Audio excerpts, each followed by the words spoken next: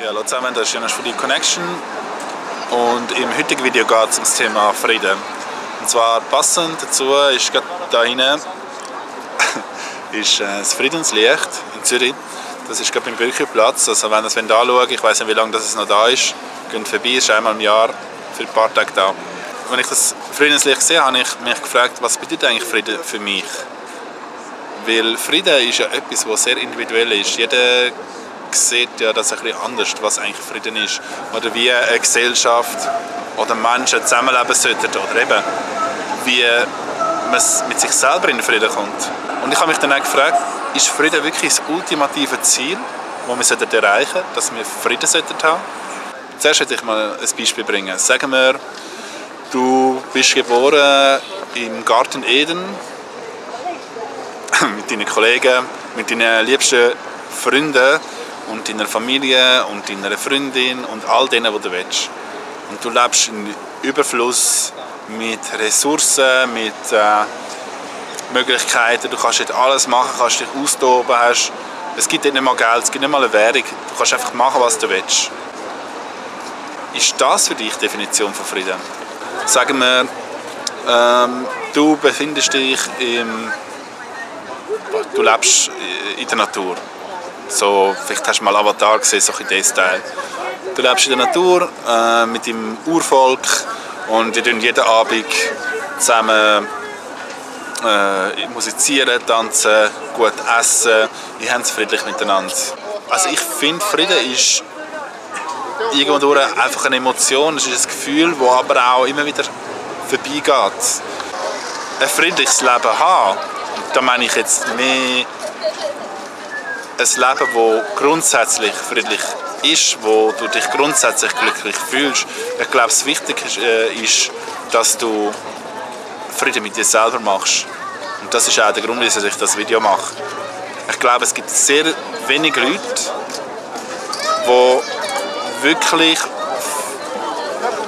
Frieden mit sich selber gemacht haben und erst dann wirklich nach außen schauen erst dann wirklich nach außen Sachen verändern damit sie eine bessere Welt haben.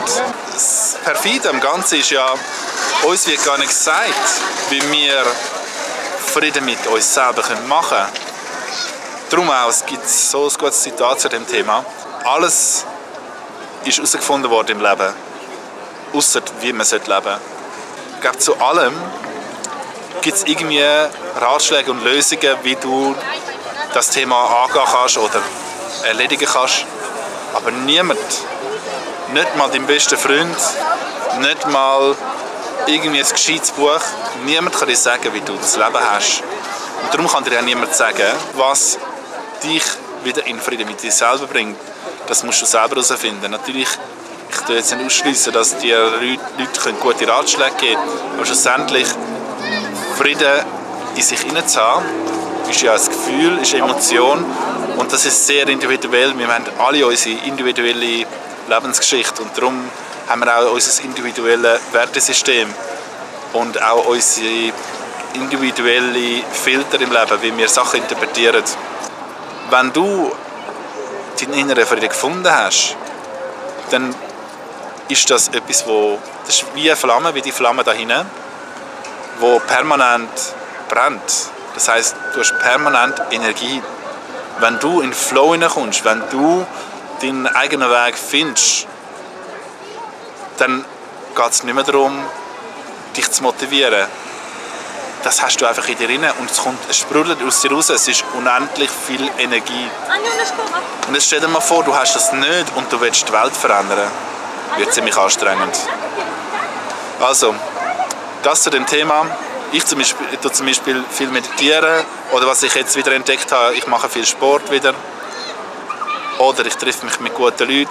Das sind alles Hilfsmittel, um mich wieder mehr in Frieden mit mir selber zu bringen. Aber das Wichtigste ist, dass du den Prozess allein auch machen kannst, dass du mit dir selber allein auskommst, so wie du gerade bist. Also du musst dich können verlieren, um dich selber wieder zu finden, um deinen Frieden wieder zu finden. Ja, ich glaube, das ist alles, was ich zu dem Thema jetzt finde. Ich hoffe, euch hat das Video gefallen. Wenn es euch gefallen hat, dann drückt doch irgendwie den Like-Button drücken, das Video weiterverbreiten, kommentiert, was ihr auch immer wollt. Und wir sehen uns bald wieder. Macht's gut. Ciao zusammen.